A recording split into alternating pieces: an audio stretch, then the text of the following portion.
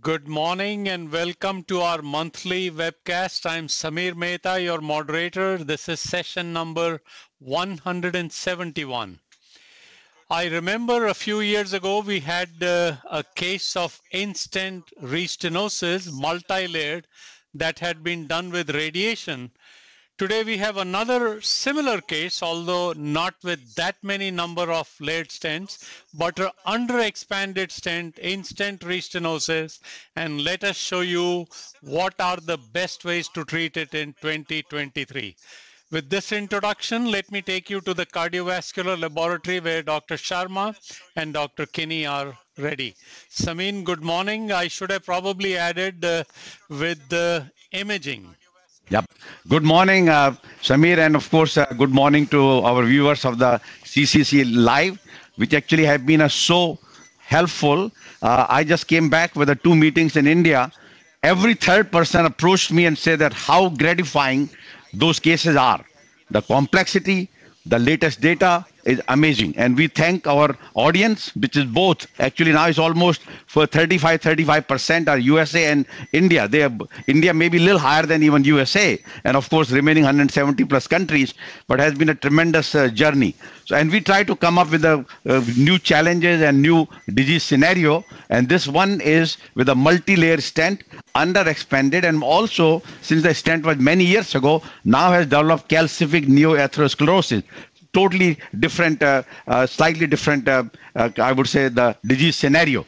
And of course, uh, with Anu my left side, and we have our fellows, uh, two, three fellows, and the rest of the our cath lab staff, usual faces, and in imaging, Kiski. With that note, Anu, we start this case. Yeah. let's say this case here. we start the slide. So now what we did is, is, because one of the topic which I'm going to talk about is the microvascular. So Joe Sweeney, one of my associate, will be here as a discussant for the microvascular disease a little later. Uh, this is the said case number 171. Uh, patient is 64 year old with chronic uh, coronary disease for many years. Has multiple stents in the past. Uh, recently had a class 3 angina and a positive stress test as a pre-op for his spinal laminectomy surgery. Uh, rest of the risk factors are there, uh, and uh, patient has a mild LV dysfunction. Good medical therapy and cardiac cath actually revealed two vessel disease. They had a proximal 70% um, proximal to mid LAD with the underexpanded calcific multi-stent ISR with neoatherosclerosis, which was detected on IVUS, which I'm going to show. Then also has a jailed diagonal 2 uh, with Medina 111 and 90% circ LPL with the non of there is a old chronic total occlusion of the ISR of the OM2. Then RCA was okay with the EF of 48% and syntax score 28. So this patient then, uh, let me just show you what it was. We always start showing now uh, what we had done previously. See that uh, disease in the LAD and stent, which will focus in few minutes. But the stent there in that LPL, uh, tight lesion right there. So did a cutting balloon Wolverine uh, followed by uh, Promus, uh, the stent which was placed. Patient did fine, but more important was we needed to interrogate that LAD, and patient had a moderate plus anterior wall ischemia. So this way, the IVUS was done. After this is the final picture with the uh, Promus Elite, and uh, now this IVUS picture, and we're going to show this is the IVUS. IVUS pullback, and uh, Anu and Kiski will comment on it. Patient had two layers of ISR proximally, had a bare metal, and then had a Cypher 3.518 uh, and so. And you can see when it is pulled back that there is a calcium be, looks like behind the stent, although very tough to say, but within the stent there is a calcific neoatherosclerosis. Why? Because you see the stent border in the yellow, and then you see uh, the uh, the atheroma you know, classical our three layer of uh, atheroma uh, uh within the stent struts. And uh, calcium has been shown uh, within the inside the stent. And on the right side, you see some calcified stent under expansion as well as the calcium. So both these our imaging expert, Anu and Kiski, want to comment on this? Yeah, I think since you know the stent was way back and we have been seeing this also. We actually have our publication as a neoatherosclerosis. Um, you know what what we uh, actually saw. Our publication was both based on IVUS as well as uh, uh, uh, infrared X.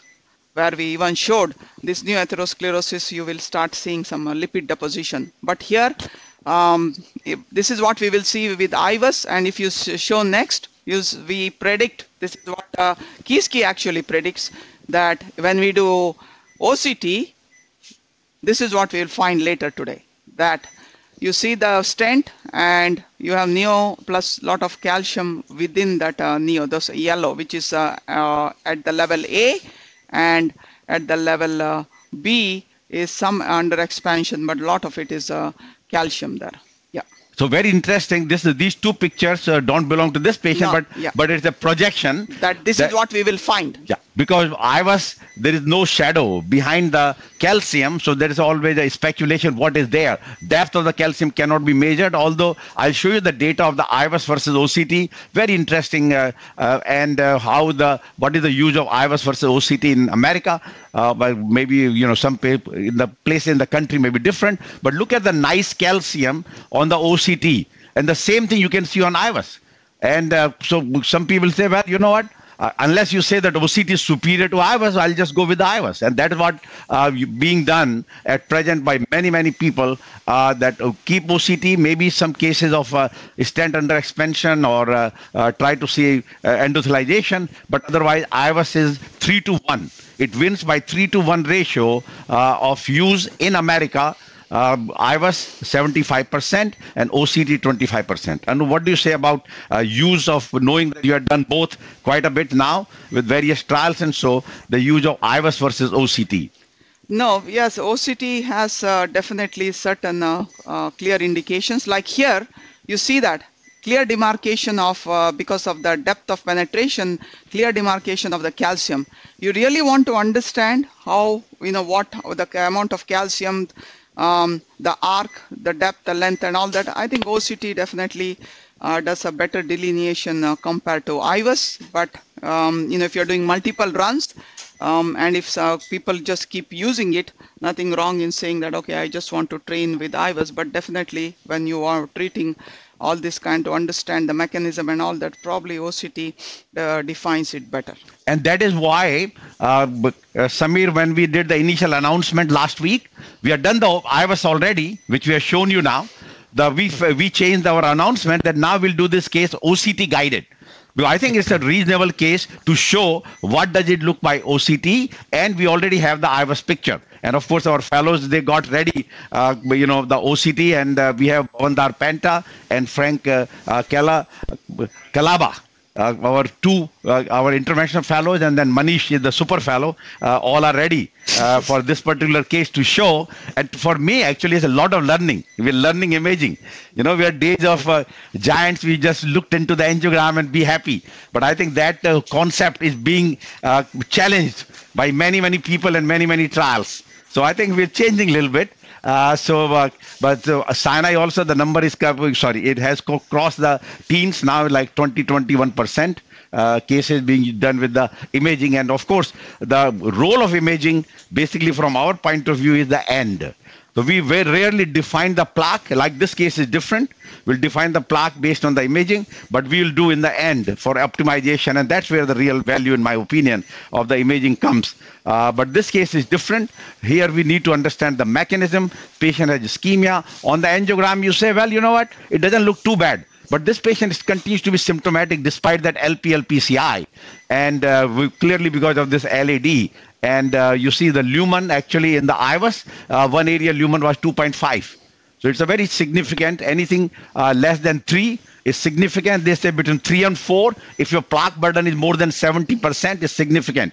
Uh, so that basically uh, is, I would call this case as a significant. Now, only question is, yeah, what Anu is doing is very gutsy, going with the rotablator wire directly. Uh, but, you know this calcific disease uh, within the stent, although it looks it's uh, simpler, can go, but it definitely will be a little challenging. We go back to the fluoro, please. While wire is being uh, sent. Samin, Yeah. I completely concur with you. I think the real teaching value of this case is going to be imaging, Yeah. and uh, particularly because we have both uh, a previous IVUS and now let's see how it looks under OCT. And but beyond that, looks a classical case for IVL. Yeah. There is a question by Dr. Mahmoud El Rais. Is it calcified nodule? You've kind of answered it, but uh, uh, tell us more, Kiski. Yeah. So the, there was a very small calcific nodule earlier, but uh, on the IVUS, right? What yeah, do you think? So yeah, like uh, if it's a protruding inside the lumen, it's gonna be we can call it a nodule. So but we can let's see the OCT. So therefore, within the neoatherosclerosis, there is a calcific nodule. Although there was a paper just came out in the JACC, one case report by Ajay Kirtane, and so that single uh, calcific nodule keep protruding through the stent struts. Uh, based on the OCT and so. So let me complete my quick presentation. Uh, let's go back to presentation while they are ready to get the OCT. As you see, uh, Anu advanced the rotawire and doing the OCT on this. So plan today is uh, the basically now stage PCI the calcified underexpanded LAD due to ISR using rotatripsy and the mini crush stenting with the OCT guidance. Now appropriate now point of view uh, clearly this patient will it's a proximal LAD proximal to mid LAD uh, and uh, patient has a positive stress test on double anti uh, ischemic therapy so it's absolutely appropriate. So we can go back now to the live imaging of the OCT and let's see I'll go back to that picture after we acquire that what uh, Kiski predicted we are going to see today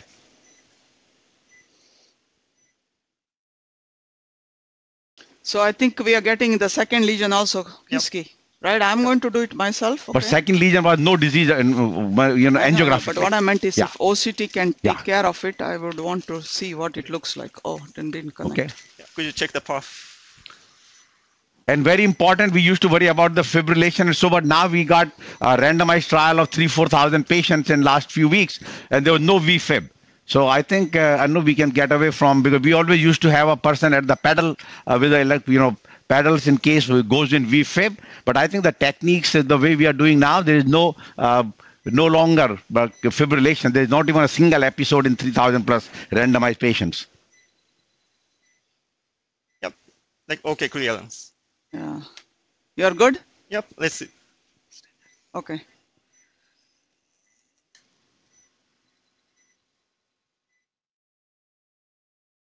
Yeah. Beautiful image. Good. As long as Kiski is happy with the image. 1.75 bar, right? Yeah, We have a this is 2-0. our native 2-0, okay, lesions. good. Yeah, Even better. One, co- one column calcium, but not so much. This is a mid stand. Now coming to the gap. And this is the proximal LAD. Yeah, I see a lot of calcium inside the stent. So first, can I do the correlation? One second, please.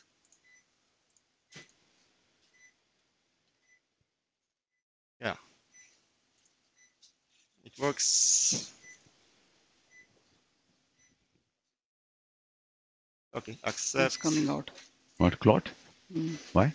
Yeah, I so I will show you the- the like proximal LAD lesion. So this Yeah, is a two of- gap of the uh, tube uh, stand.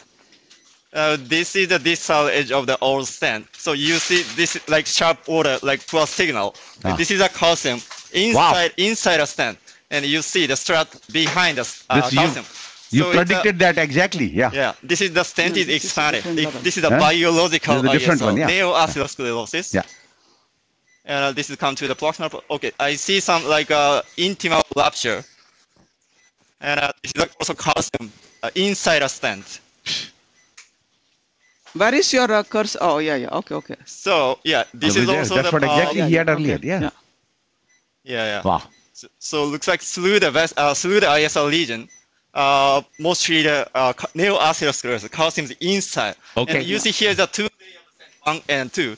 And now, the- where is that calcific nodule which you predicted on the IVUS? Where do we do we see somewhere? Yeah, it should be at that level before Okay. that diagonal. Yeah. So actually this is Yeah, not, right there. You went past by no. No, no. but not like uh, clearly. no, it's small. No, really. it's not a clear nodule, but there's a disruption. Remember, I just said SS, I got little Yeah. thrombus out. I think could be from the disrupted area. Okay. So we have a 2O. Yeah, we have a 2 bar. Uh, Kiski, Yeah. give me the diameter at the highest uh, calcium. Even was the? Not that. okay, so best cell size is balloon is follow, Okay, good. Three and a five, we have it. tightest part Yeah. like MLD. Like, Not there, Yeah. where the calcium is. uh, 1.7. The MLD is like 1.4 something. Anu, Yeah. I Okay, was there, there, there, there, right there, right there. Surprised with the choice of 2.0, but completely agree. Makes sense. Yeah, yeah. But see where where we want to really take care of the calcium, it's still diameter is 2.2. Yeah, true.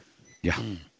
Okay, let's see. and it was same it was like 2.3 uh, sorry 2.5 on IVUS and remember the data have shown there's about a one millimeter difference uh, but the what we acquire in the IVUS versus oct our criteria is a little different between two of them Anu, Yeah. the uh, you know the instant segment is clearly protected. 2.0 makes sense there, but you would not take the 2.0 down all the way to the No, we'll leave second it lower. lesion, would you? No, no, no. But- I think at the level of the diag, we are going Yeah. to stop there. Okay. A- a- and second lesion angiographically no what was the mld of the second lesion Sure, because second. on the IVUS i don't think we did IVUS of the second lesion No, we never yeah because here you also very good lumen for the second lesion uh, kiski what is the lumen there Like 0.8. oh 1.8 yeah, only Second lesion.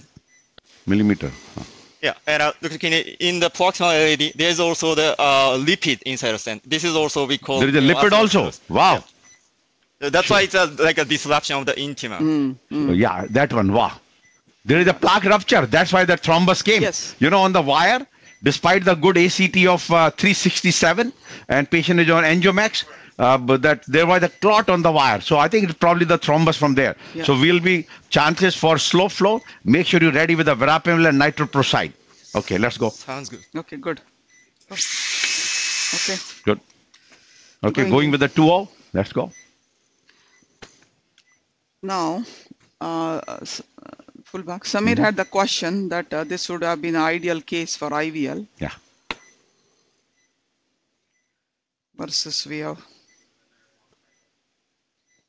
Yeah, I would say that one of the reason because we saw there is a lot of uh, calcium inside also neoatherosclerosis, and so we thought let's shave a little bit and then we do the IVL. So go- goal is to combine IVL 3.5 ready, right? Yeah, 4 IVL. Wow. But if, yeah, 4 because we need, uh, the diameter is 4 there. If somebody says, I just want to do IVL, Yeah. I think it's not a bad yeah, choice. yeah, that's okay. Yep, So we just have to be clear with that. good, Okay, off. good. Okay, didn't jump, and now we are ready to rock and roll.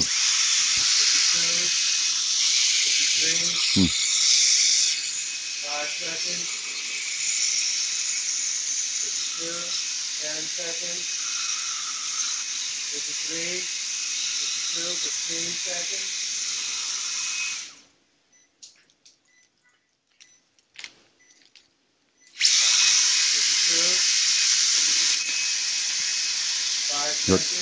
All right, went Yeah, right through yeah, the yeah, entire uh, yeah. instant segment. Yeah, yep. Uh, Samin, what is the speed? Uh, that's the question. 150, 150,000 RPM. And remember, I told everyone that Rota Pro, which is the Rota Pro 2 now, it comes set with the company. You don't even have to touch the tachometer. No speed check. Yeah, no speed check. It comes with a 155 set Ready? from the company. If you want to go higher, lower, this is a different story, but not needed anything. Get me the run through wire with the curve. So, but we do with a 150. But just to be fair, there was a trial of 100 patients from Japan.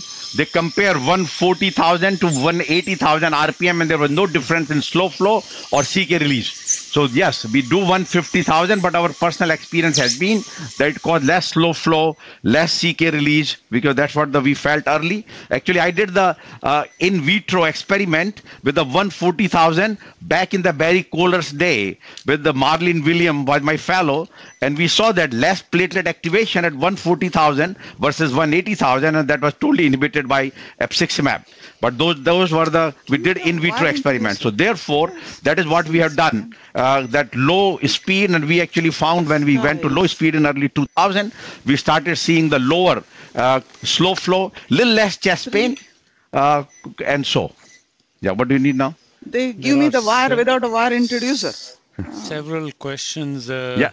You already answered them regarding the, We need the to burst speed. Nice. Yep. Uh, and also, you've you. kind of talked about it, but there is a, a direct question. If there is thrombus, uh, would you still go with rotablator?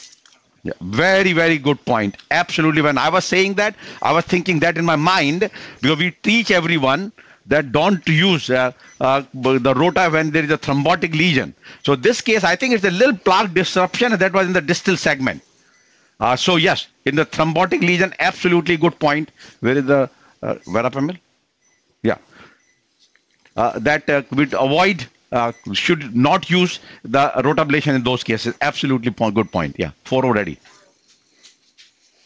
Uh, But it was just a very, but biggest issue was the under-expanded stent in this case. So I think it came up on the wire. Now the question is, did it come from the vessel, from the rest of the vessel itself versus the distally? Let's take a picture after rota. Yeah, yeah. No. Give me the OCT. Okay. We are going to do OCT.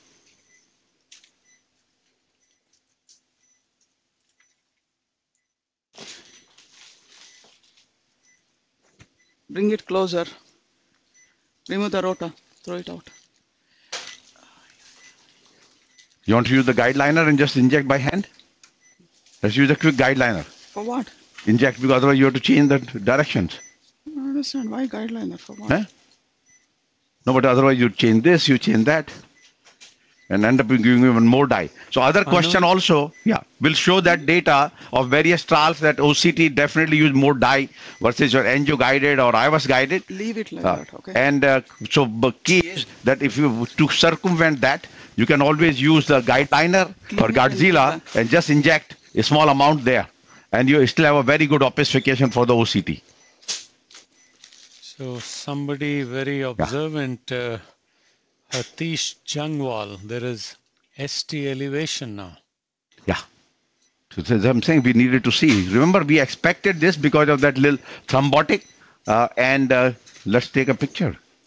okay. Yeah, we definitely little ST. We just gave uh, some nipride, and uh, You did at the beginning, right? yeah, we gave little nipride.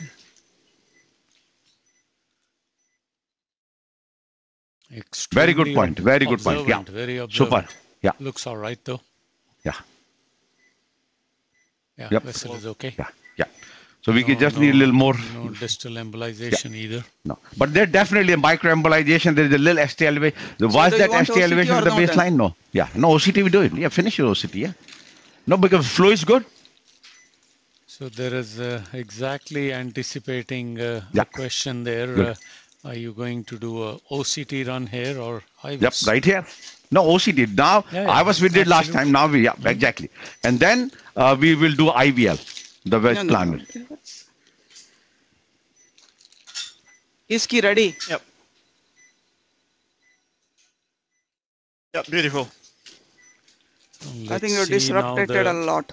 impact of uh, the two rot rota burr on uh, this lesion. Yes. Don't think it did uh, much. So amazing transformation. I, you know, we used to initially get uh, almost all the questions on uh, uh, by email uh, through the website. Now everything Ah. is coming uh, on the chat lines. Oh, good. Everything is on chat. Beautiful, beautiful. I had about And uh, STs are going down. questions all. Sure. Okay, but Lake, the put the the- OCT on the main line. It could be because you were Yeah, so injecting too much. this is posted to a loader. So you see that, uh, just the surface of the calcium, a little bit a shade, but this is also true. The MLD is like uh, not as tight. That's why so no super aggressive uh, modification. Just the surface is uh, shaved. And uh, that, that's the lipid Connect. part is more disrupted. connect That's why maybe kind of a ST That's elevation. why little uh, Yeah. uh, slow flow. Yeah.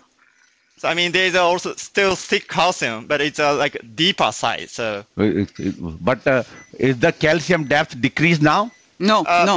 Just just as- uh, just touched it. yeah, true. Shaved it. Yeah. Yeah, that's it. We don't know. But you go back to the okay. We are doing the uh, uh, IVL now. Let's go back to our angio and show continue to show the ECG below. And you see that now ST has completely settled down because we. I remember I predicted that we gave verapamil and nitroprusside and the ECG completely normalized. Go back to the ECG. Show the hemodynamics. Let's do the IVL. We are uh, ready with the IVL 4.0. So Kiski, uh, Yep. where so you see two diagonals, right? So I will Yeah, yeah. start at the level of the second diagonal. Okay. Yeah, yeah. Actually, the last stent end just on the second diagonal. Like Why- uh, why I don't half, see half you, you didn't do courage? I don't see it. Okay, one second. Do the courage quickly. And this is the new C2 device which has 120 pulses.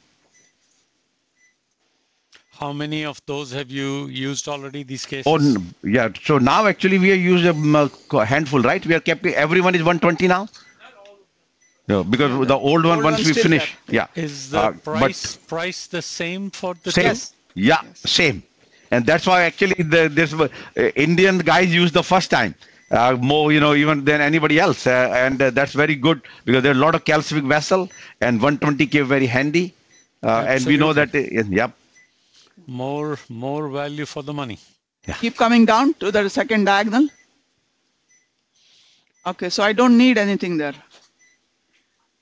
So just in the come proximal, yeah, proba- Yeah. proximal, proximal, So, proximal. yeah, and then this is the end of the old stent. Okay, Yeah, okay. that's where so you I need. need that. Okay. Yeah. If we go a little bit distal, No, no, I am. Mm-hmm. I'm going to go there. Iski not we are not seeing that image. okay. Okay, go up here. Yeah. Okay, go up. Four atmosphere. This is a 4 Four, four oh at four. ideal. Okay. Yes. Okay. Now wait, let me see. now. expanded there It's still No, there's no, a little no, no, dent in the there's middle, a it's a little bit, yeah, but expanded quite a bell compared to what superior was, yeah, yeah. Six and down, Go six. and down. Okay, we are going to do again same. Yeah, Wait, fertilize yeah, yeah, yeah, so I'm fine. Okay, go up again. So this is the second train now. Yeah, second, second cycle, yeah.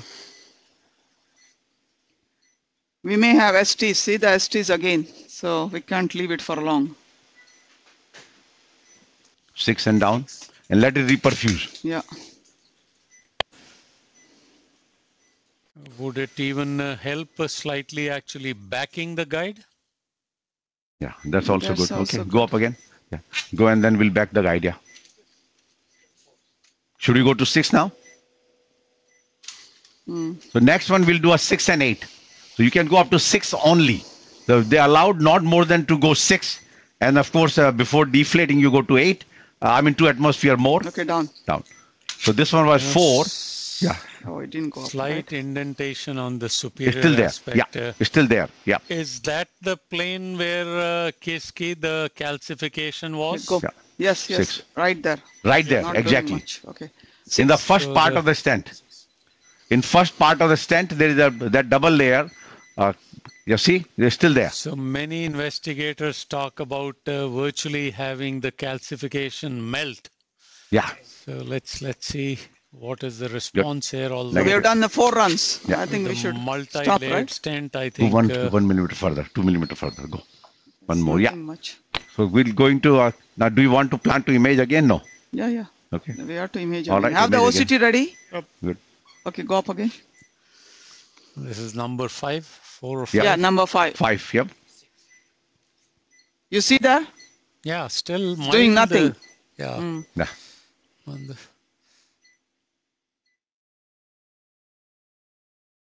I think after this, down. Good.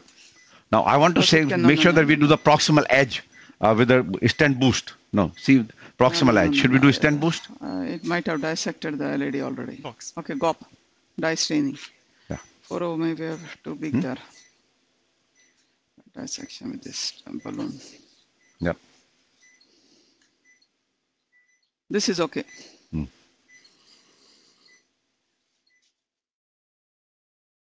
Good. Negative. Okay. Let's come back in the guide. We see it. So This is the Then take a picture before going in.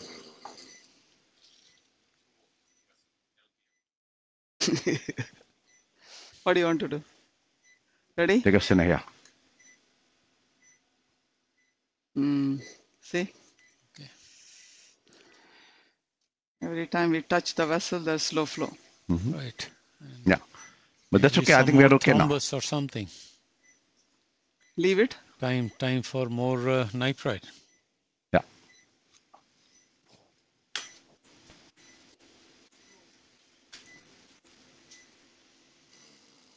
FFR. Small? Okay, leave it. Balloon, balloon, balloon, balloon. yeah. Balloon. Yeah. So now question is what is the mechanism? What is happening behind before the diagonal? There's little diastasis. Is it just a calcium? The diastase that you know it's like type one type. Uh, uh, I mean basically NHLBI A or B. Uh, uh, or little hematoma, which is unlikely because that's all within the stent and so. Uh, but, uh, I mean, you want to do IVUS on this, or we just go ahead and open the ostium of the diagonal now? Play. No, no. So even the pulley OCT, it showed the eccentric calcium. So it, it, it could possible just the stain of the calcium. Yeah. Stain of the calcium. Hmm. I think IVL we are IVL done. has Look at the proximal segment has done a Should not. tremendous job. Look at the proximal. No, proximal was not that- a lot. Highest was here. Let's take it out. I don't think it did anything. Yeah. Let's just uh, do another OCT run.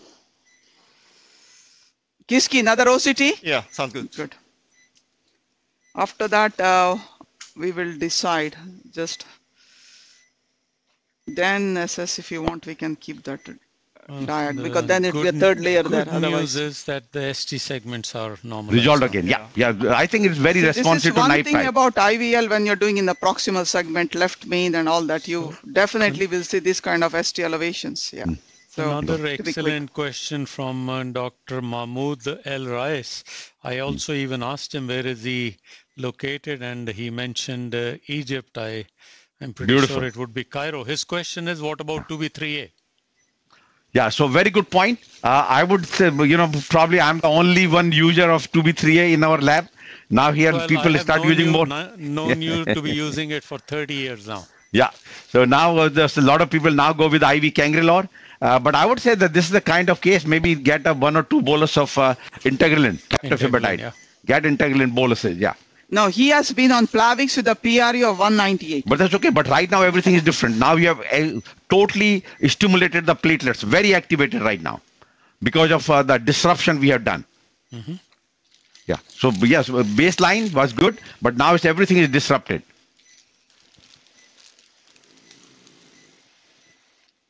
This is going to be extremely useful, the OCT here.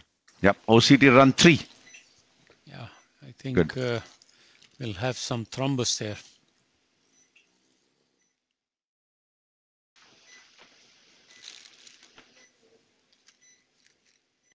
Stop redisconnecting multiple times. Leave it like that, okay? Because air. Okay, Kiski, ready? Yeah, ready. Yep, good clearance. Can you show the OCT on the screen? Show the OCT. Yeah, Yeah, beautiful. Yeah. A second. So this is the gap. Now come to plaque LAD. Yeah, Mm, more more dilated. Yeah. I This think it's a great plaque modification. I'm giving get Integrilin bolus. Give one. Yeah. Not now at the end, please. Yeah, but you're developing thrombus now. We are definitely very active plaque. Maybe give heparin rather than Angiomax. Okay, give heparin. Give 3000 of heparin. Every time. Heparin. Did we have, we don't have an ACT, do you have a vein? Oh, Yeah, so Dr. Kini, you checked one. Okay, ACT is 400. So it cannot be 3000 I uh, heparin. did the Little bit, right? 2000 probably okay. Yeah, give 2000 heparin. Yeah. yeah, I saw the You know, calcium by fracture in the deep things calcium. looking good. Yeah. Yeah. Show, There is a- show the there- OCT. One second. So now I do the correlation. Show OCT on the main screen. Actually, even angiographically looks looking better. Yeah, better. Yeah. So Okay, Kiski, tell us the teachers what you see now. Yeah, so this is the distal part of the proximal stent. You see that like uh, not a super huge, but uh, there is a calcium fracture. The Wow, ideal work. Nice the calcium cal- fracture. Yeah, and we go back to the proximal part, like a bigger lumen, more disrupted, but lumen is much bigger. So neoatherosclerosis means a mix of the lipid and the calcium. So now it's more disrupted, more lumen, and the calcium is fractured. So this is a perfect, uh, like more than loader. IVL did work more than. No, that because we have the big balloon. Yeah. Yeah, yeah, true. Sizing and the device is great. I think it's a time to put a stent, right? Yeah, I think No, no, so. no. Do the side branch. We taught people we have to take care of the side branch. Hello.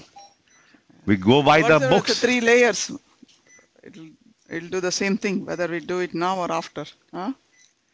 Where is the needle introducer again? Yeah. Turn So, and the, we need a 2.5 uh, compliant balloon first? Or 2O?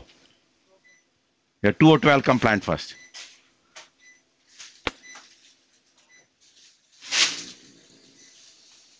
Okay, so 40, 28. Yeah, we'll cover the proximal part. Okay. Like normal to normal. Okay.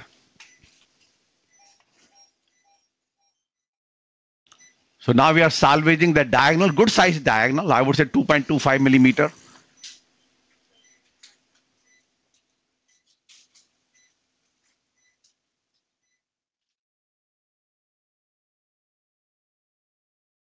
What wire is this? This is the fielder wire, a regular fielder, going through the two layers of the stent for the diagonal. And there's calcium there. Yeah. So I don't know. Uh, let's see.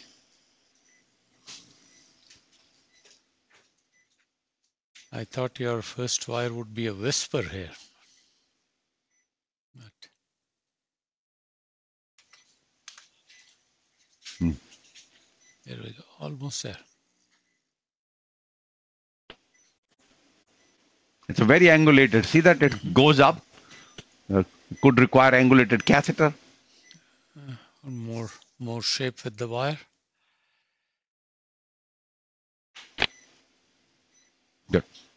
Okay, cut the balloon. Yeah. Good. Cut the balloon. excellent job.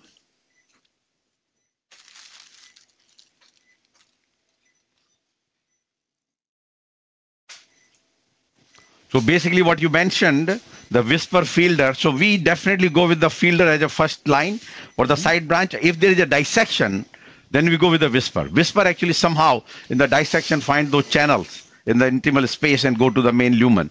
Uh, so those uh, will prefer whisper uh, and otherwise uh, we to give it a first try with the fielder. So again, but this is a, you have to use a hydrophilic wire, whether whisper or fielder, whatever you are. I, I tell people that just become mastery in it. Just use one wire. Get a 2.512 high pressure also. So more questions coming. Uh, Yeah.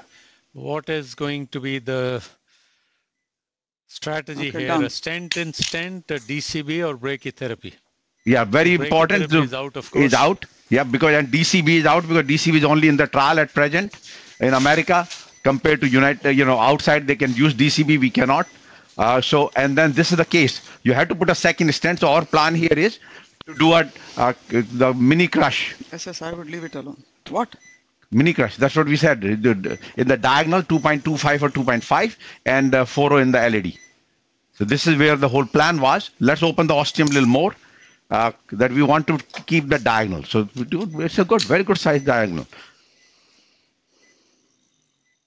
So DC IVS, uh, the IVBT is out, DCB is out in America. We actually, there are a lot of trials going on. We are part of the solution IDE, uh, where ISR, uh, they gave us a limit of one, th- you know, 35 patients, which we have completed. We are asking them to do more, uh, and uh, we may do more because 250 patient trial, uh, they are to about 170 only. Uh, they give us a little more, we can finish the trial in next one month. Then we go to the native vessel and bifurcation. Okay, give the stents. Yeah, 2.2512 and uh, 40, uh, 28, right? Yeah. Kiski, Yep. angiographically we are doing that. Are you agreeing with the imaging? Yeah, yeah, I agree. Follow 28 is perfect based on OCT.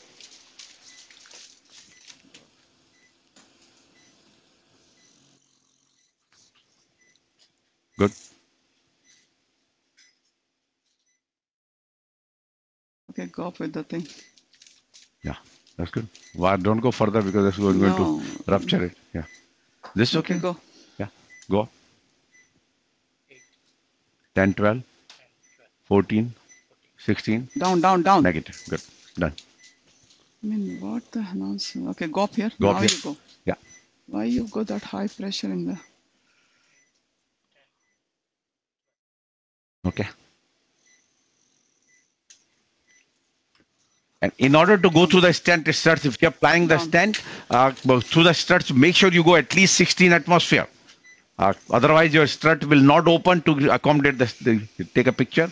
And now you decide, you know, diagonal more and more I'm looking at it. I think the whole goal here is the uh, case of uh, uh, the, is the LAD. Diagonal looks good. You want not to put a stent. I'm okay with that. Yeah, but you went such high pressure. Yeah, but that's okay. So what? But it's, so I think we can still put a short stent. Yeah. Everything looking good. That go with the plan. That was your original plan was the mini crush after uh, low, rotatripsy, and we are so far following the same steps. So, Samin, another set Yeah. of uh, very interesting questions regarding the strut thickness in multi-layered stenting and that uh, would a thin strut, something like uh, Orsiro, be preferable? Uh, well, I mean, that's a very good point. So question is now, uh, so whatever the stent was, now we have eliminated uh, of the factor. So it is out of the factor now. So what would you do? The Orsiro or Synergy with a very thin strut. We actually looking at our data in the rotablation, and this is the kind of case that is difference in the strut thickness outcome with thin strut which we actually majority we are uh, synergy Orsiro is only 5% 95 is the synergy at Sinai versus Promus uh, and uh, Xience which is the thicker strut uh, nothing is thick but thicker strut is there outcome when we did the overall trial i mean overall our data we published there was no difference we saw but now we want to go with the patient only where we did uh, rotational atherectomy uh, and uh, to in those cases. So we are evaluating it. So now question comes here that is there a difference uh, between two strut techniques uh, thickness? So I don't know, but I know that uh, Orsiro is the only stent which have uh, done the better outcome uh, compared to uh, in the bioflow trials and so uh, compared to uh, Xience. Uh, and the, some in the complex cases the data are not that clear and and same the whether it could be onyx also also relatively thin strut but both on the orsiro and synergy around 60 uh, micron uh, will have a totally thin strut so i'm actually a little more concerned uh, about the thin strut uh, stent in a calcific lesion uh, because uh, ability to have the radial strength which you the need 4 Huh? stent. yeah 4 stent would not go. not going no it will go so what will happen is the you we can take out uh, we have to rewire because there's probably uh, mixing No, I don't think so. no 4 and 2.5 will go No, so we can pull back I don't know. So let's see what i would say is would no not do it. you have to pull back the wire completely out at area where it is where it is combining no below Somewhere in the guide. even further down huh where is it Up there, see there? yeah There. okay yeah Somewhere here. So no, what we'll do is see here now. We we have to pull back the wire at this level. Let's keep showing our audience. You know, when there is a crisscross, pull back your wire up to the tip. We are pulling because we can go back into the LAD again. So see this now. So good. So now advance the stent itself, not the wire. Advance the stent. It's not going to do that. Good. See that now? When there is a crisscross, that's what you do. You bring back the wire at the ostium of the uh, stent and uh, then advance the stent a little bit forward, and that will take care of it. So this is not uncommon because multiple wiring and so and so forth that we are a little bit of crisscross, and uh, we are now ready to uh, do it. So answer to crisscross, bring back the wire at the level where there is a difference, Yeah, and then advance the stent a little bit. there's a stent. If you have LAD dissection, you cannot do that. Yeah. Now, if there is a dissection, then definitely, uh, in that case, I would take the diagonal stent and balloon out. I mean, stent no, no, wire no, and then go. Just to step crush and be done because it was not easy when you Yeah. were giving your lecture. Yeah. It was not easy to cross Yep, I saw into that. the Yeah. diagonal. That's Okay. what they need to learn also. How to get the stent into the diagostium. Yeah.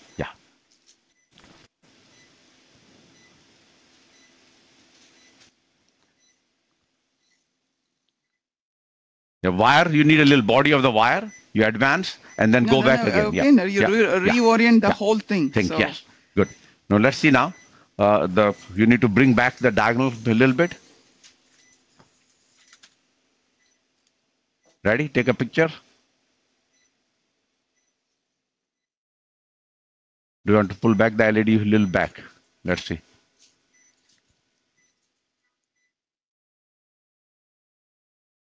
Good. Okay. some dye. Okay.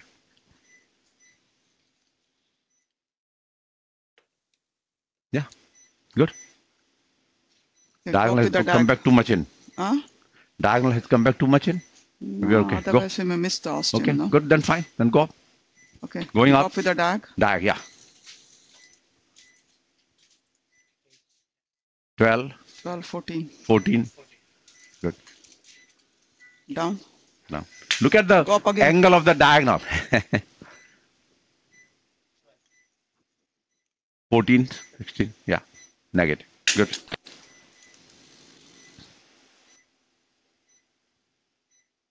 And go up here. Hmm. In case you have to use later on, go here 20. You can go here 20. This is not in the app. Yeah, I know. Okay. 20. Down. No, but this was angulated, so we needed a little modification of app teaching. Good. Take the wire out, but leave the wire in the vessel. Uh, okay. Take a picture. Andrew, hope you're watching the step. Ready? Next modification in the app. Okay, some dye. So we confirm everything is good. Yes. Okay, Yeah. go up. Go.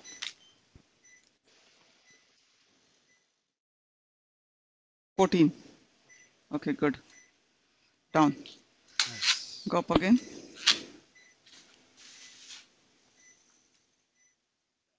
Okay. Down. You want to go few millimeter distal? There's no stand there. You need it.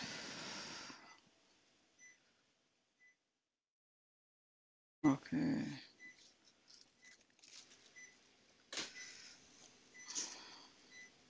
Okay. Let's take a picture and then have a study, and we'll meanwhile go with our uh, lecture. theoretical lectures. So you'll tell us what you are going to do, and then you'll come back when you're doing the final uh, OCT run. Okay. Oh, both the wires came out. But one second, let me give a little uh, vasodilators. This artery needs some vasodilator. STs are good. You can see the hemodynamics. Yeah. Yeah, no STs. Good. Let's take a picture. Sine.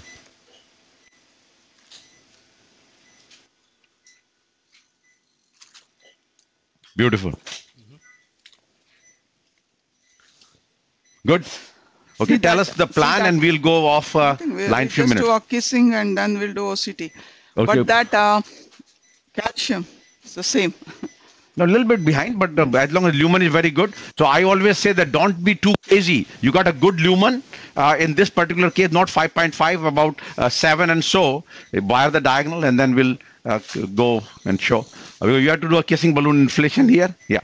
Uh, get from somebody, which they can use. Uh, 2 or 12, Yeah. same. we had Not 2 12 anyway, yeah. So uh, wiring and then we'll go our uh, uh, lecture and your plan is 4 in the LAD, what you are going to do? We are 2.2, uh, 2.25 balloon for the diagonal, which we already have. 2 and 2.25. One is the first, uh, use the compliant. Uh, it will be a little difficult to go into it now because there is a little crush line you can see. Calcium, also. Calcium, crush, a lot of things. We Yeah. have to, may take a while. Okay, start your lecture. And then you have to- Okay, so uh, plan would be kissing and then do the OCT, and that's what we are going to show uh, in next uh, 10 minutes. Okay, let's go to our presentation uh, and yeah, make a little curve and actually uh, uh, uh, as I mentioned, uh, Joe Sweeney, uh, my associate, has also joined here. Uh, come uh,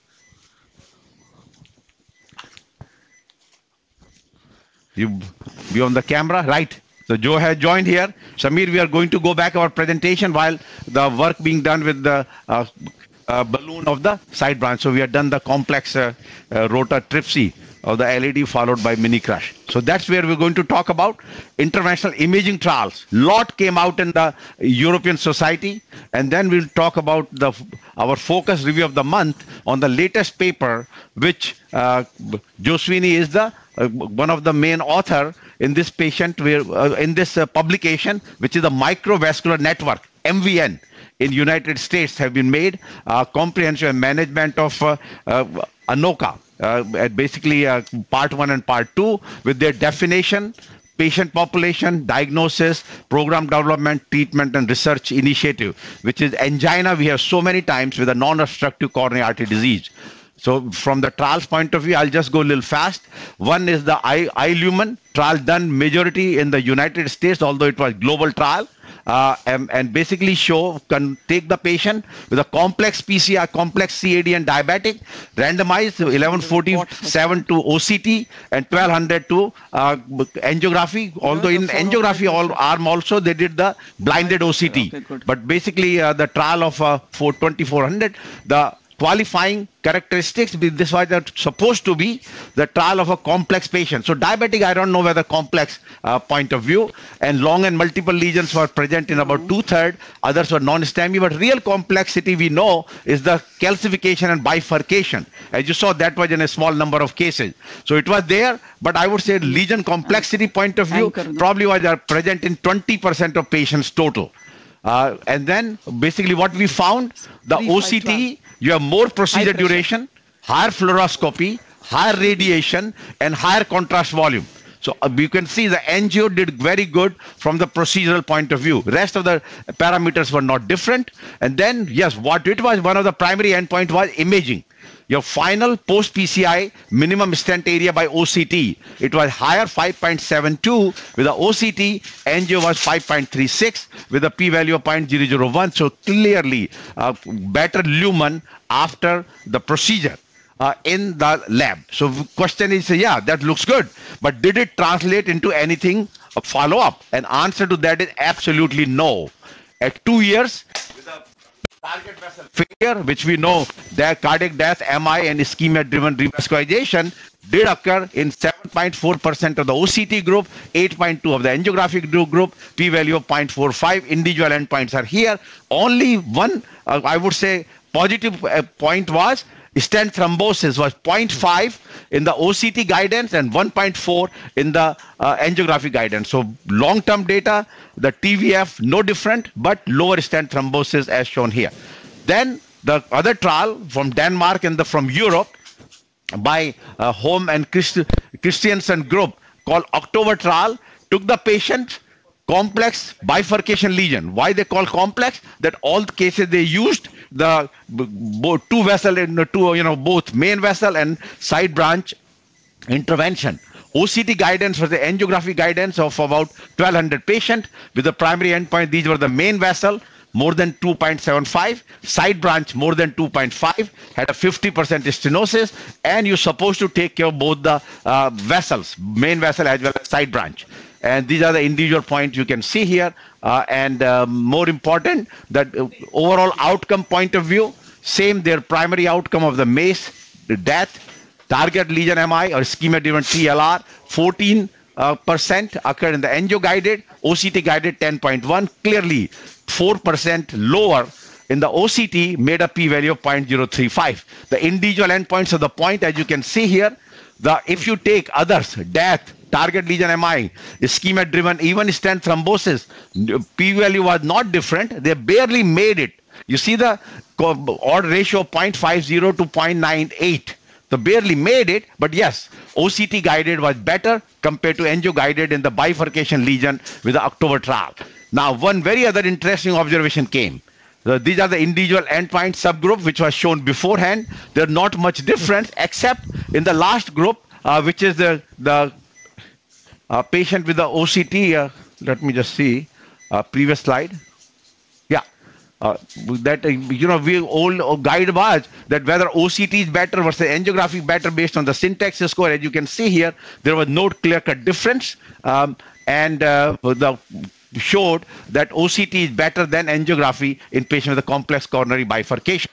Then uh, Dr. Greg Stone, our uh, academic uh, director here at Mount Sinai, Mount Sinai Heart, showed the real-time updated network meta analysis using both these trials. October as well as uh, the ILUMIEN he included in his trial and these were the OCT versus IVUS 20 randomized trial as you can see in various groups angio versus OCT angio versus IVUS IVUS versus OCT all of them the multiple trials of the 20 randomized trial used in the, this is analysis and the names are clearly written there and including the two latest one are the ILUMIEN 4 and October and all of them showed that if you take a target lesion failure superiority of the intravascular imaging uh, guidance PCI by reducing the event rate by 31%, confidence interval of 0.61 to 0.78, taking all the trials together. Very interesting. So now if you take an individual endpoint of the cardiac death or all-cause death, again, superior uh, with the imaging, then you take a MI. One is the target vessel MI or all MI. Again, superior in both the in, from the imaging point of view and then you take stent thrombosis the stent thrombosis actually decreased 50% by imaging guided if you take all of them together and the TLR decreased by 29%. So basically to, you can say roughly stent thrombosis become half and target lesion failure becomes uh, decreased by one third uh, in the imaging guided PCI. Now, then question was that uh, if you take put together, like, you know, here we have put all of them, uh, all factors called OCT IVUS together versus angiographic, each group of the TLF, stent thrombosis, all cause death, MI and TVR. Very simple, very clear message for the stent thrombosis become by half and the decreased death by 25% and your TVR by 30%. So that's the team to remember. 25% decrease in death, 30% decrease in TVR, and uh, 50% decrease in stent thrombosis by the imaging in this meta-analysis. Now, which one is better? OCT or IVUS? Actually, if you look at it, identical, except the TVR, there is a little signal that may be that also the IVUS may be slightly better compared to OCT, as you can see here in the trial, 1.36. So maybe the TVR was slightly better in these trials uh, if you take compare OCT versus IVUS guided um, uh, and so. So conclusion basically was that compared with angiographic guided PCI, IVR guided, I've already mentioned, TLF 30%, 46%, uh, and 29% with the death, MI, and TLR respectively. Most important is the stent thrombosis, and uh, clearly there was similar outcome with the OCT versus IVUS guided PCI. Then you say, well, let's compare both of them. And this was not included in the trial. Or it was trial included in this Octivus? no, no. Yeah, Octivus was not included in the meta-analysis. Uh, and this is a trial done by South Korea uh, group comparing OCT versus IVUS in 2,000 patients. They always do such a large studies on target vessel failure of the death, TLR and uh, TVR of the ischemia driven with a one year follow up. Included pay, the patient basically, major, all comer kind of, uh, and uh, whether you, if some cases with a drug coated balloon also, but trial of the 1000 patient of the OCT, about 1000 for the IVUS, follow up, uh, tremendous follow up, and basically what we saw. Overall, not much difference except amount of contrast media used was higher in the OCT, which we'll expect. Uh, total PCI time was kind of equal, but this is slightly more on the IVUS compared to OCT. But the important point, imaging based procedural success, that is basically how often your stent expanded. And so it was higher with the IVUS guidance versus OCT guidance. So you can say, although you look at the complication, no almost no complication related to IVUS or OCT. Uh, that's what point I was making earlier that these imaging now the way we do have been very safe. So, but uh, clearly that IVUS did a better job of the getting the procedural success uh, and individual also stent optimization, relative stent expansion. As you can see, much higher in the IVUS group compared to OCT group. Now, does it matter? We learned that in the um, ILUMIEN trial. Better Lumen didn't make any difference, but overall the data are that IVUS did better job as such from the imaging point parameters point of view compared to OCT. And but did it lead to any difference in the death MI and uh, TVR? Answer is no. 3.1 versus 2.5 absolutely no difference with a p-value uh, non-inferiority and uh, confidence interval of 0.47 to 1.36 hazard ratio. So whether you do a per protocol or as treated no difference again. You take individual endpoints no difference in the clinical factors oct versus ivus you say maybe one could be better in patient with a low ejection fraction. Acs nope. The very important information we learned that once you have a syntax score based that IVUS was better compared to OCT. You see that here. Uh, interaction or I mean trended towards. I would not say significant, but there was a trend towards better outcome in a complex cases using IVUS compared to OCT. P-value of 0.096 for the interaction, as you can see here.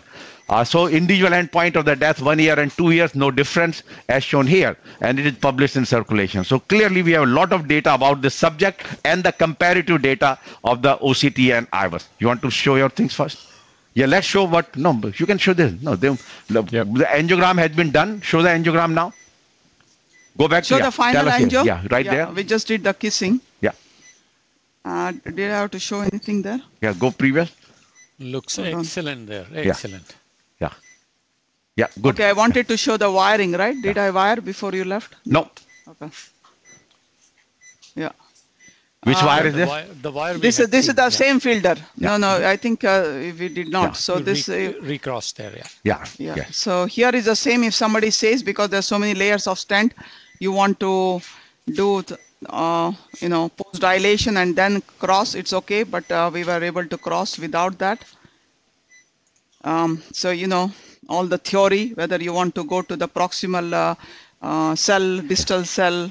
In this kind of case, will be very hard. If you get through one cell, you'll be happy. Um, but the 2O used balloon actually went. Can you believe that? Yeah. I was ready for a mm, anchor. I was ready for 1-5 balloon, thinking it would not go, but the used 2-5 balloon went. Um, and then we just did the kiss. Yeah. Then we went 2-5, went up to 20 atmosphere of that uh, diag, and then 4 oak everywhere. Yeah. And this is where we are with the final. The final OCT will be shown. This is the angiographic Beautiful. final picture. And let's uh, go to the OCT. Kiski. Yep. Can you show it on the screen? Yeah, I'll show you. So this is the from the distal. This is the mid gap part. So now Yeah. we see the distal edge of the stent. Yeah, no dissection, no normal apposition, expanded well. And uh, through the uh, stand, it expanded really Can you, well. okay, la- la- for one looks good. At the bifurcation level, we want to Okay, see I'll how show you the the stent looks. bifurcation level.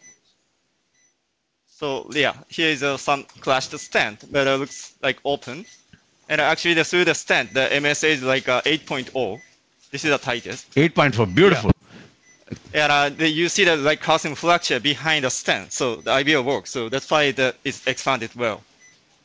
Can you show us the and with the stent image uh, on the OCT Oh, sure. so we can see that? Uh, Bird's eye view. yeah. Beautiful. Not a, images, not a, beautiful not a, not a dot, not a single dot of red. Look at this. Beautiful. Do, uh, show the 3D reconstruction so we can see that uh, uh, stent side branch. Anu, technically very well performed too. There was a question that did you consider using pot before diagonal wiring? Yeah. Um, we were thinking about it, but remember our teaching is for a non-left main. It's not indicated. But here, since uh, we have probably four layers at the layer of that uh, diag, uh, we were in fact we did call for uh, the balloon to post dilate there, but we, we saw that the wire uh, we were able to wire and get the uh, balloon through it. So this is how it looks, right? The Yeah. ostium. Yeah, this is the ostium of the D2. Yes. Yeah, looks open visually. Yeah. So, so question basically was that the pot might have been indicated by opening the strut if because this is now three or We four layers. Because three yeah. layer the stent and there is a crushed stent of the diagonal. So Four there's a three to four, four to five layers. So therefore maybe a pot could be indicated, but uh, we actually have been a, a non-left main. We are not a proponent of pot. And uh, more importantly, there is no clear data. You'll be seeing a paper from us in JACC intervention, which has been accepted, coming out that part being done, but beside very few uh, the theory, I'm sorry, very few data to support. More of a personal opinion rather than the data to support the pot use in our interventional cardiology. Okay, we can go back to. You want to comment? Uh, last one on this. So we go to the, our next part of the microvascular. No. You want to just from this point? Yeah. No, no, I think we are good. I think only point I will make, if anybody ask a question, did we need ROTA? Could we have just done with IVL? We could have just done this with IVL. Yeah. Puri. Okay, let's go to our presentation, and this is the important one.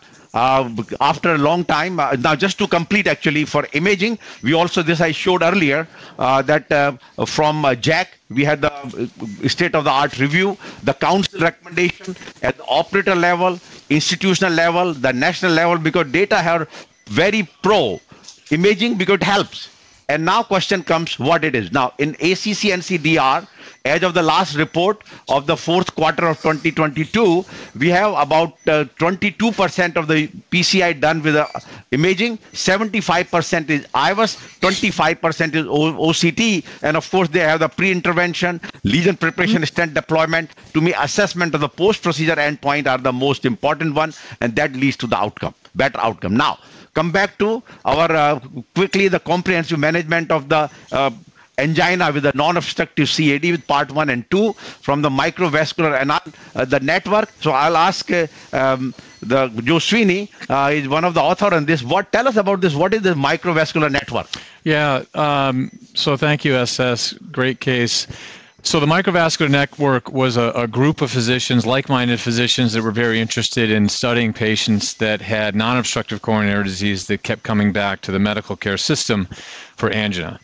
Um, and it convened initially, the first meeting we had was in 2021 and we were charged with really standardizing policies and definitions uh, and starting to develop protocols where we can start studying these patients in uniformity.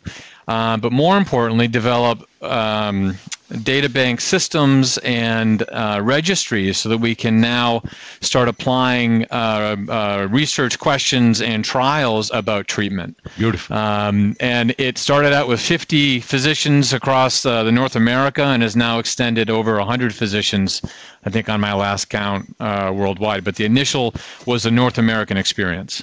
Now, the word angina we use, which is the ANOCA, Yeah. why this word is ANOCA? With ischemia has kind of fallen fallen off the waste basket. People don't use that nowadays. Excellent question, and it's a big misnomer. So, ANOCA stands for angina with non-obstructive coronary disease. This is the cohort of patients we're targeting. While we like to see ischemia uh, on a non-invasive test, it is implied, and we know that a lot of times ischemia is not detected. And this goes back to the problem uh, challenge with this group of patients is identifying them is so difficult because the current guidelines are really based on identifying and working up patients with obstructive coronary disease. And those patients with non-obstructive coronary disease and still with angina have fallen through the cracks. And the guidelines do not do not address that. And that's why we got rid of the ischemic or INOCA and really focused on simplifying it with ANOCA, which is angina. So angina is the typical presenting symptoms. And actually, that's a very interesting point because remember the INOCA was part of the our uh, the ischemia trial. So I actually, by learning it, I just learned that INOCA for our audience is like gone. Don't use it. Right. Only ANOCA is the Only one. Which- it's yeah. implied. Ischemia is implied. implied. And therefore, the key is the big challenge, as uh, Joe just pointed out. We always constructed on obstructive atherosclerotic disease, but now that this microvascular network will concentrate on this aspect. Patient keeps com- coming back, have chest pain, that but your your epicardial vessel is good. So we expect it's a microvascular dysfunction, what type it is, whether endothelial, vasospasm, myocardial bridge, uh, chronic, you know, all these things which happens even post stenting. How often we have seen patient Yeah. perfect stent keep coming back with a chest pain. We Correct. do ffr ifr they're normal. Uh, and so so this is a true disease entity. Uh, prevalence and epidemiology looks like every fourth case uh, could be with a chest pain syndrome which we understand. Yeah, And- so, so just to comment on that, millions of 10 million patients have angina, or 11 million patients we quote in the paper. Up to 50% of those patients are going to have non-obstructive coronary disease on coronary angiography. And what we have seen is almost 75% of those patients are going to have the umbrella term ANOCA. ANOCA is divided into many different endotypes, which we'll which we'll get to later. But that number is astounding. How many patients are falling through the cracks? Absolutely. So this is, uh, I mean, such a timely topic, and then we are you, going to use this terminology, coronary flow reserve. Everybody knows it, which is the CFR represent the ratio of hyperemic to baseline coronary blood flow. And which can you do it in the cath lab now? You don't have to worry about non-invasive with MRI or other thing. Then microvascular resistance. Tell us a little more on the IMR, and now they're talking about hyperemic MR. Yep. So IMR is an index of microvascular resistance. It's a it's a a metric that we use in the cath lab that really targets the microvascular system. Coronary flow reserve is great. There's a lot of literature behind it. When you have reduced flow reserve, you have increased uh, events down the line. The problem is it's dependent on resting coronary blood flow. And that indice is variable from day to day, from minute to minute. And what the index of microvascular resistance is takes away that resting that resting metric. And it looks specifically at the microvascular system. Um, and this is came out probably in 2004 initially, and a lot of literature now is really diving into um, measuring this to help identify patients with microvascular dysfunction. Um, hyperemic microvascular reserve. Uh, this is an entity that is really done by Doppler flow, so it's not really something we do here in our cath lab. Uh, if you're still doing CFR with Doppler flow, then that's a measurement you can do, but not with the current technology that we use. Now, this terminology, there are a few papers have come up also on the regis- resistive reserve Yeah. ratio, RRR. Yep. So the resistive ratio, resistive reserve ratio, is an index of resting microvascular resistance versus the hyperemic microvascular resistance. And we use a cutoff value, I think, of three. So when your when your resistive reserve ratio is less than three, it's another predictor of events. You know, we're looking to uh, help help really identify those patients that are at at risk. Because what you'll see when you have all these variables one up one down this one up this one down it creates a lot of confusion. So the more specific tests we can have to identify patients that are at higher risk the better it's going to be for all those operators that are doing this study. So uh, the rr is another measure of that.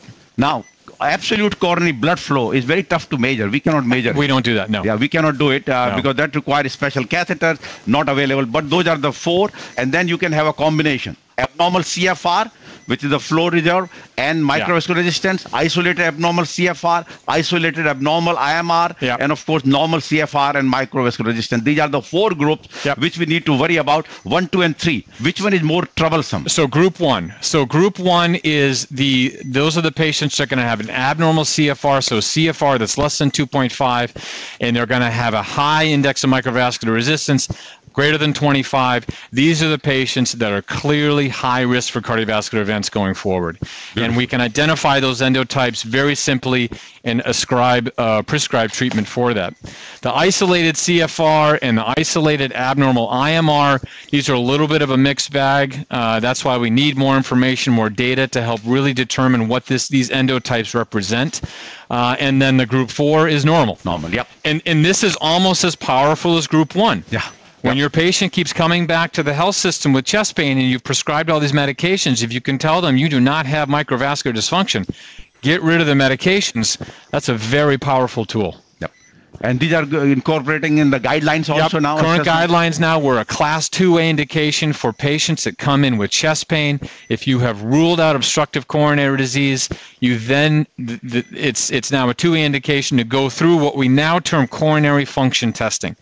Um, that is a, a new term that we're using that really uses the new technology, the modalities to test patients for this entity. Um, and we are now at a 2A indication, which is great. And if some of the insurance company had to adopt it, I can tell you I'm having a trouble Yeah. getting approval. They are approving the angiogram. Uh, but I said, I don't need the angiogram because we had done the CT angio completely normal. Correct. We want to bring patient for the co- co- coronary functional testing. Correct. Did not approve. Yep, and Didn't uh, approve. We're the still insurance companies have to catch up. Yeah, insurance But one to catch co- up. one comment. So there are non-invasive ways of testing the microvascular, but what's an important lesson is, in my opinion, it's in the cath lab where we're able to capture it all. A PET scan, a cardiac MR are fantastic for measuring coronary blood flow, but you are going to miss the endothelial dependent mechanisms. Vasospasm, you're not going to detect that on a PET scan. A PET scan is going to miss a myocardial bridge, which is what a CAT scan is going to identify. So we can detect all these in the cath lab through a very, very uh, specific protocol. And that is actually you had done very nicely. Uh, Yep. Put it together. I mean, beautiful. Uh, I would say central illustration. One of the high best I have seen. I would say one of the best was our um, ISR. Uh, which we have central figure, but uh, that also you quoted quite a bit. But this one is really uh, take us together. I think this is the crux of the whole subject. It is. Which we are doing that. Forget the obst- um, not forget. I mean once you eliminated obstructive CAD, this is what we are facing. That doing the IVUS and coronary physiology Yeah. with the myocardial bridge, but then you go to the small vessels in terms of acetylcholine and coronary flow reserve. So if you can com- comment on this, Exactly. how do you take it? Yeah. Exactly. So starting with the patient selection, we already talked about it. The patients with angina, and you have a high suspicion for ANOCA. Um, it- it- and in fact, you can have a normal stress test now. We all know the stress tests are not perfect in identifying ischemia. So if you have a symptomatic patient with a normal stress test, even a normal coronary CT, these are the patients that we want to study. Um, obviously, ischemia is helpful, but if it's not there, it's okay. We then move down to ruling out obstructive coronary disease, uh, and we know we can use uh, hyperemic or non-hyperemic indices to do that. If that's negative and there's nothing obstructive, then we move to coronary function testing.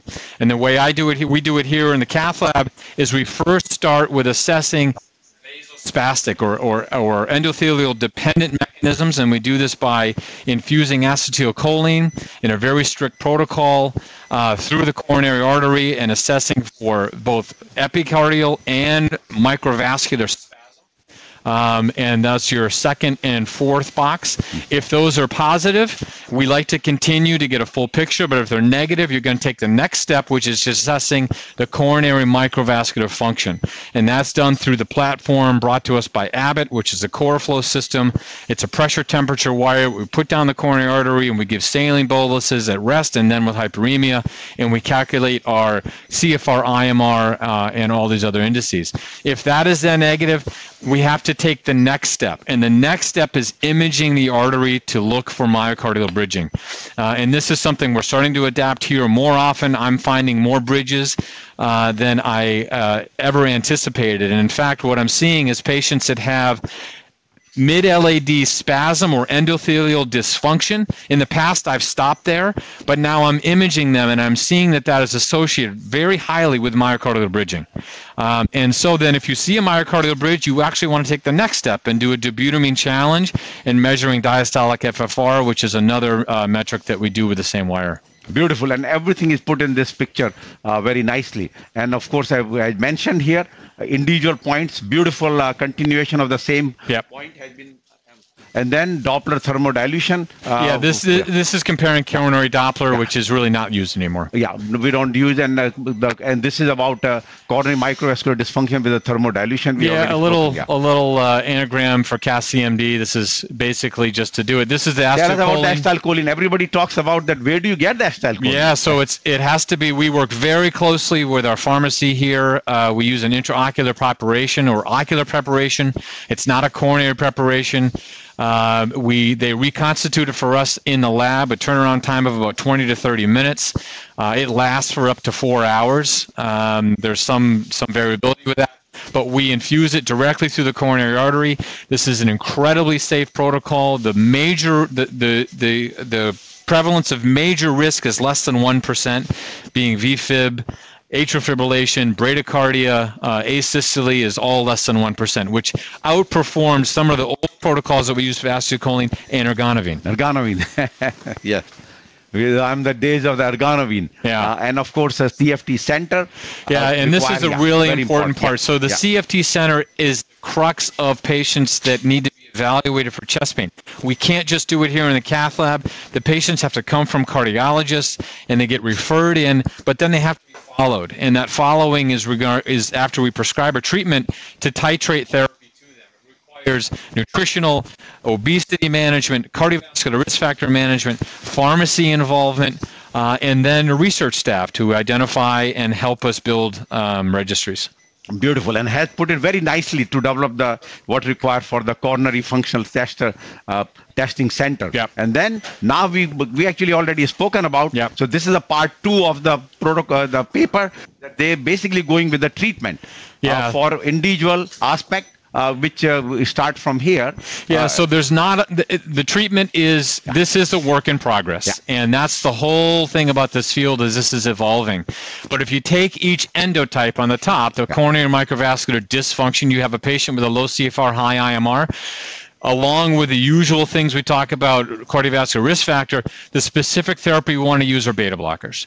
And we want to target those beta blockers that have vasodilatory properties and low uh, intrinsic sympathetic activity. So the, the telltale, the classic one is um, Bystolic or Nebivolol. Nebuvolol, yeah.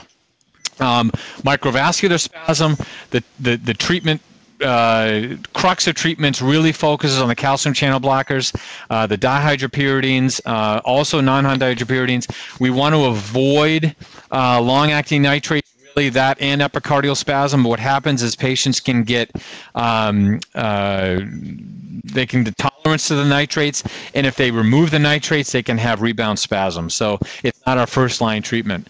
Endothelial dysfunction is largely on risk factor control, which we know smoking cessation. Epicardial spasm, you're going to focus on your calcium channel blockers, both di and non-dihydropyridine. And then bridging is really focusing around uh, decreasing the inotropic response of the bridge with beta blockers. Beautiful, beautiful, very nicely put in. And this we have, uh, you know, con- uh, concentrated on the medical therapy and so. Yeah, And these then- are all things in in in. Uh, yeah and then there are actually some patients with a nerve stimulation eecp and uh, coronary sinus reducer. All these things are possible and we have done all. We have done the nerve stimulation we have sent eecp and of course the coronary sinus reducer trial ongoing in mount sinai. And uh, this is all put it together in terms of uh, data collection. And then conclusion was very simple that this is the new entity we are un- understanding and the recommendations will come. And only you can respect it when you start doing it and patients respond. Correct. Correct. And- And, and the idea is you have to do it. Yeah. And you have to start seeing this with your own eyes to realize it um, and understand the, the, the physiology behind it.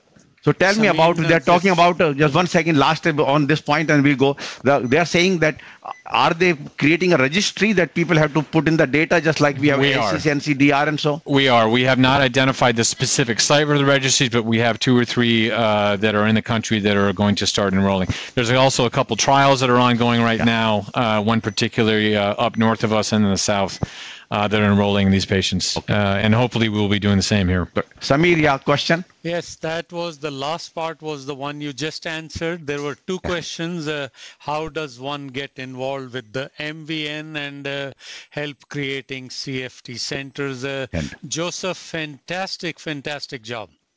Thank you, thank you. Uh, so obviously, the the microvascular network. Uh, feel free to email me. Um, it is sponsored through Abbott, um, the Abbott Vascular Group, and they're happy to have new members involved. And so you can get the technology that you need to do this. And the simple email is joseph uh, dot sweeney, S-W-E-N-Y at mountsinai.org. That's it. So this is just to complete our uh, presentation of today. The meta-analysis uh, active the of imaging versus angio-guided PCI, triple thumbs up.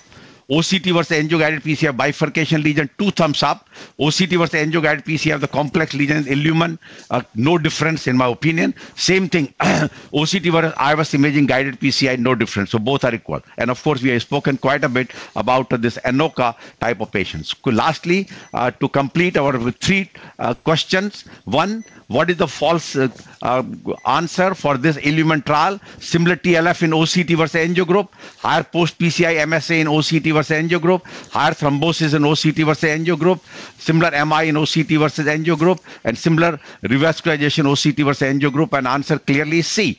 There was lower stent thrombosis in OCT versus angio group. Second, in the October trial, which statement is false, similar PO, patient-oriented uh, cardiac endpoints between two groups, similar mortality, similar stent thrombosis, similar uh, TLR, and similar MACE between two groups. No. Answer was MACE was lower in the OCT group versus angio-guided group. The third question based on the Octivus, the what is the statement is true. Similar contrast used between two groups, similar stent optimization criteria met between two groups, similar more than 90% stent expansion in IVUS versus OCT group, lower MACE in IVUS versus OCT group, and lower malopposition. And answer there basically is E. Lower, which was a higher malop- lower malopposition in IVUS uh, versus OCT group. Clearly, you saw everything else uh, was similar. So similar contrast, no. More contrast used in the OCT. Similar stent optimization criteria, no. IVUS has a better stent optimization criteria, more than 90% stent expansion, and MACE is equal between two of them. With that note, we complete our today's presentation, and thanks everyone for going beyond the uh, today because excellent case demonstration uh, and a little bit of uh, this uh, update in teaching. So our diuse was, uh, just to come finish, our dye was 140 cc with the air karma of 0.9 and total time fluoro was 23 minutes. Beautiful.